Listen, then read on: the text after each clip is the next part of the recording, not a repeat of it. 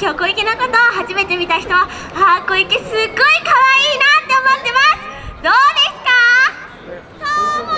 ありがとうございます。はい。でねじゃあ今日初めて見た人とか可愛いなって思ってる人は小池の1月19日に行われるワンマンイベントすごい行きたいなって思ってると思います。けどどうやったらワンマン行けるんだろう？うん。あそうだ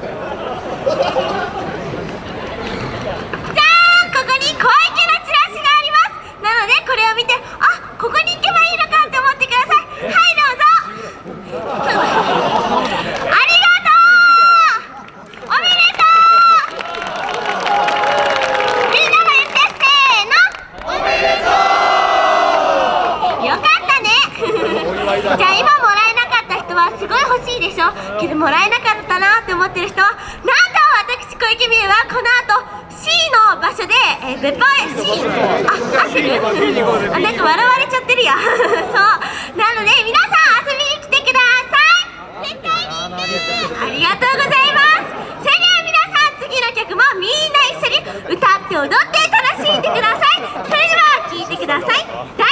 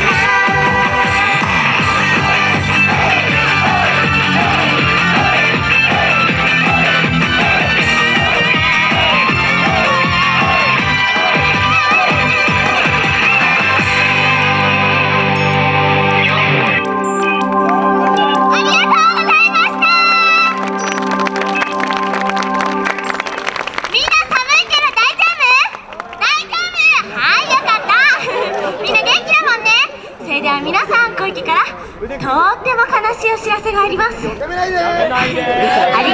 まばらそうなんと次が最後の曲になります。やったじゃないよ。あこれで小池さん最後の曲か。